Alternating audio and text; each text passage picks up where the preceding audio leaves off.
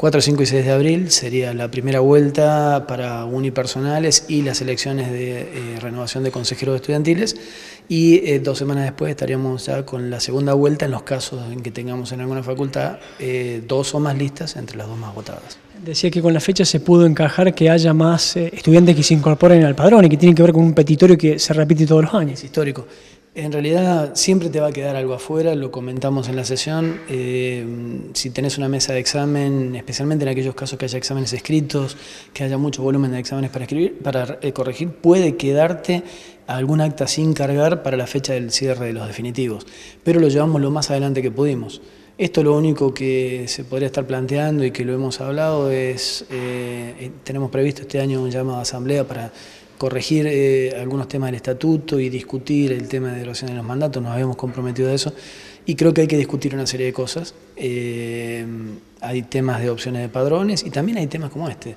Quizás tendremos que pensar que la elección pueda moverse un poquito para permitir eh, que se incorpore mayor cantidad de personas los cuatro claustros. En realidad el estudiante justamente por 356 y por la educación superior tiene una serie de requisitos y debe encargarse las mesas de exámenes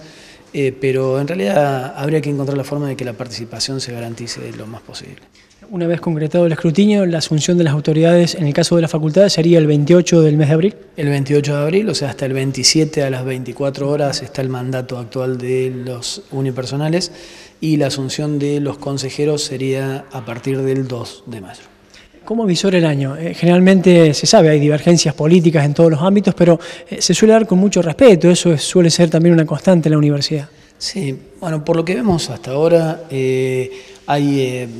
por lo menos hay un par de facultades que ya hay dos listas que están trabajando, pero muy bien, o sea, con, con mucho respeto, se están discutiendo ideas, creemos que tenemos que demostrar eso, o sea, que nosotros podemos discutir proyectos, e ideas y que el debate tiene que ser sobre esa base. Eh, nos parece que en eso estamos bien, eh, la universidad en general está bien, hay cierta armonía, sí sabemos que hay divergencia en las discusiones políticas, sí sabemos que no estamos todos de acuerdo, pero es fundamental que podamos demostrar que justamente desde acá eh, el respeto, que un poco creo que fue motivo de parte de la discusión, ¿no? si logramos que se respete, que la otra persona piense distinto, que la otra persona sea distinta, eh, incluso cosas como las de hoy, que estamos discutiendo la violencia de género, y tenemos que poder bajar los decibeles sobre eso, eh, haciendo hincapié en que hay que respetar al otro.